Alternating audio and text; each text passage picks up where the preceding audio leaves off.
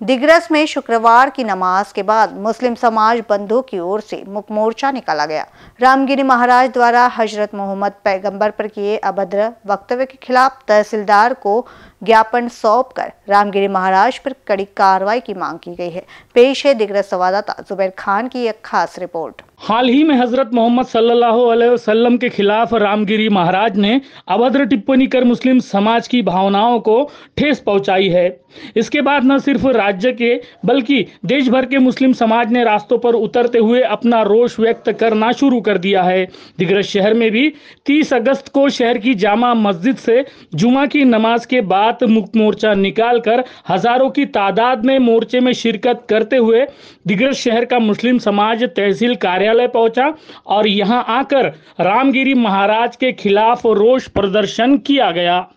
देखिए, ये देश संविधान से चलता है। इस देश में लोकशाही है। ये देश कायदे और कानून से चलता है।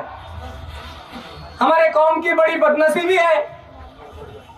कि जिस गुस्सा के रसूल रामगिरी महाराज ने रसूल की शान में गुस्ताखी की, हमारे इस्लाम के शान में गुस्ताखी की, उस पर पुलिस स्टेशन में एफआईआर रजिस्टर हुआ। लेकिन हमारी अपनी कौम की बदनसीबी है, हमारे प्रदेश की बदनसीबी है। क्या संविधान के उच्च पद पर बैठा हुआ हमारा प्रदेश का मुखिया उस आरोपी के पास जिसने रसूल की शान में गुस्ताखी की, जिसने धार्मिक तेल निर्माण किया, मुसलमानों की धार्मिक भावना को दुखाया, उनसे मिलने जाता है, जबकि वो आरोपी है, उस पर पहले ही एफ़ दाखिल हो चुकी थी। निवेदन पेश किया गया। उसके अंदर एक बात का और ज़िक्र करना चाहूँगा कि हुकूमत हिंद से कि भाई वो रामगिरी महाराज को जल्द अज जल्द गिरफ़्तार करे और कैफरे किरदार तक पहुँचाए और साथ ही मुल्क हिंद के अंदर इसमतें और इज्जतें लूटी जा रही है। उसके खिलाफ भी एक ऐसा अजीम कानून बनाया जाए कि जिसके ज़रिए से हुजूर की भी इज़्ज़त बरकरार रहे और मुल्क की बच्चियों की भी इज़्ज़त बरकरार रहे। हमने कभी इस दौरान न सिर्फ़ मुस्लिम समाज के नेताओं ने बल्कि मुस्लिम समाज के धर्मगुरुओं ने भी राज्य सरकार की मुस्लिम समाज के प्रतिनिधियों के खिलाफ अपना रोष व्यक्त करते हुए रामगिरी महाराज को कड़ी से कड़ी सजा दिलाने की मांग उठाई है। शम्मी रिसालत के परवाने जो यहाँ जमा हुए हैं आज हमारे पास दौलत नहीं है दुनिया की हुकूमत नहीं है दुनिया की। लेकिन हमारे पास सबसे बड़ी दौलत है वो ईमान की दौलत वो है रसूल आज़म की दौलत जिस पर मुसलमान मर सकता है मिट सकता है। और अगर हमसे ये भी अगर छीनने की कोशिश की जा रही है और फिर आवाज़ भी ना उठाए ऐसा नहीं हो सकता। हमारा हक है जो रसूल आज़म को बुरा बोलेगा हम उसके खिलाफ खड़े हो जाएँगे। और मैं खास हिंदुस्तान के वज़ीर आज़म यहाँ की हुकूमत से कहना चाहता हूँ कि ऐसे लोगों पर लगाम लगाए। ये बड़ी बड़ी गाड़ियों में घूमने वाले यानी रोज गाड़ियाँ बदलने वाले यूँ नहीं है।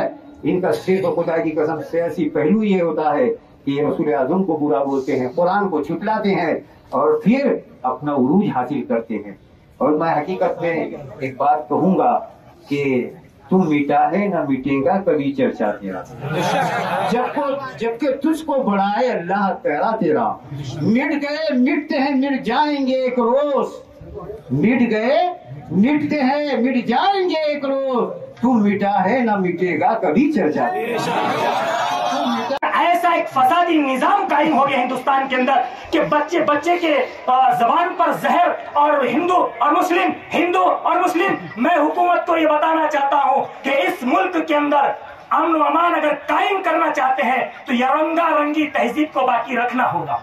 कि इसी के अंदर है ये तिरंगे के तीन रंग और एक दूसरे के त्यौहार में हाजिरी। और मुसलमान हिंदू भाइयों को रिस्पेक्ट दे हिंदू भाई मुसलमानों का रिस्पेक्ट दे।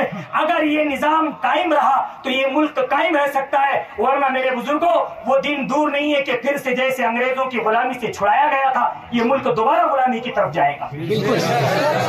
इस मुल्क के अंदर क्या क्या अकाबरीन की कुर्बानियाँ रही है? है। कैसी कुर्बानियों से इस मुल्क को सींचा गया है? इसलिए हम मौजूदा हुकूमत को ये हमारी तरफ़ से पैगाम देना चाहते हैं कि वो हमारी बात को समझ ले। सारे हिंदुस्तान के अंदर और पर्टिकुलर पूरे महाराष्ट्र के अंदर जो है, इसका एहतजाज किया जा रहा है और बड़े पैमाने पर किया जा रहा है। क्यों? कि आकाए मदनी की शान में गुस्ताखी हुई। गौरतलब है कि इस मुख मोर्चे के दौरान पुलिस का दलबल भी बड़ी संख्या में तैनात रहा। इस दौरान तहसील कार्यालय पहुंचकर उपविभागीय पुलिस अधिकारी रजनीकांत चिलुमुल्ला की उपस्थिति में तहसीलदार डॉक्टर अर्जुन पावराव को मुस्लिम समाज की ओर से ज्ञापन सौंपा गया। गौरतलब है कि बीते कई सालों से किसी न किसी बहाने मुस्लिम समाज की भावनाओं को ठेस पहुँचाने की हरकतें जारी है।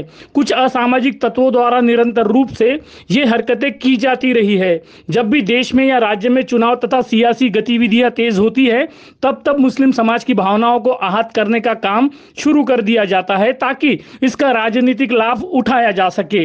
अपने राजनीतिक स्वार्थ के लिए मुस्लिम समाज की भावनाओं को ठेस पहुँचाने वाले लोग देश के हिंदू मुस्लिम एकता को खत्म करने की कोशिशें कर रहे हैं और देश को बर्बाद करने पर तुले हैं। बहरहाल, ज़रूरी है कि केंद्र और राज्य सरकार को निष्पक्ष होकर न्यायपूर्वक पहल कर समाज में शांति स्थापित करने की दिशा में सक्रिय होकर रामगिरी महाराज जैसे असामाजिक तत्वों पर कड़ी कार्रवाई करना समय की मांग ज़रूरी है, ताकि देश भर के गाँव, कस्बों और शहर के सभी समाज के लोगों के बीच सामाजिक सद्भावना बरकरार रह सके। इन न्यूज़ के लिए दिग्रस से जुबैर खान की रिपोर्ट।